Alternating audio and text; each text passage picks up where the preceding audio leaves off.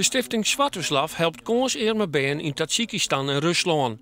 Als directeur van deze organisatie had de man zijn positie misbruikt, zei de rechter Joert.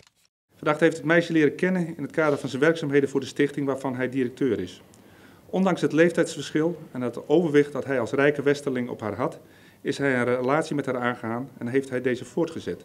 Intussen is de man geen directeur meer van de stichting, maar vrijwilliger.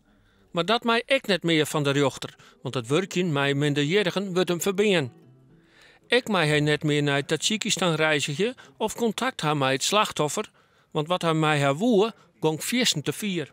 Knuffelen, hugs, kussen, kisses, de liefde bedrijven, make love, en dat ze elkaar willen voelen, feel you. Deze woorden hebben naar het oordeel van de rechtbank, gelet op de context waarin ze zijn gebruikt, een seksuele lading. Het bestuur van de stichting reageert als volgt op het vonnis. Als bestuur zijnde geven we hier geen commentaar op. De zorg voor de kinderen is het allerbelangrijkst. De man uit Skeerne Gautum, die intussen weer in Nederland is, moet hem deze week melden bij de reclassering. Oors kan justitie hem oppakken litten.